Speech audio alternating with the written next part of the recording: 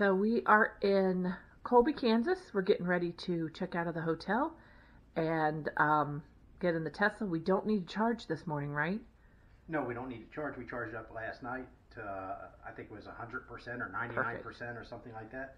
So we're good to go. All right, gonna get on there. Okay, so we are in Topeka, Kansas. Uh, it was 173 miles from uh, the last stop, and we made it all the way here without having to stop.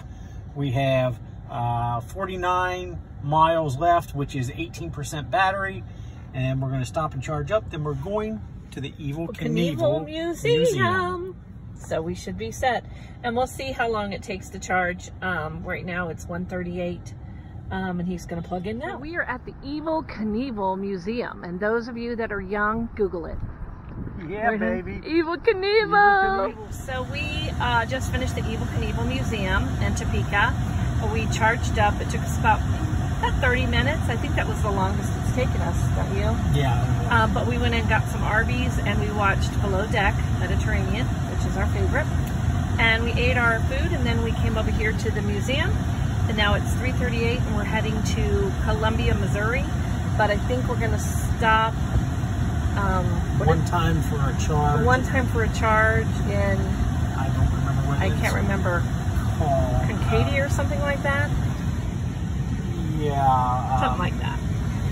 And then we'll be heading. Concordia. Concordia. Okay.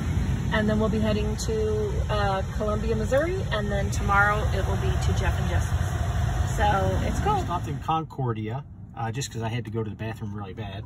We have 105 miles left on our battery, which is about 40%. And so we're just going to stop and charge so I can go to the restroom. Yep, and then we're going to head on to uh, Columbia. Columbia, Missouri. Yep. Okay, so we're in Columbia, Missouri. This is going to be our last stop for the night. So we're going to charge up now. We have 50% battery, which is 133 miles left. So we're just going to charge up tonight. So that way in the morning, we don't have to worry about it. We can just get in the car and take off.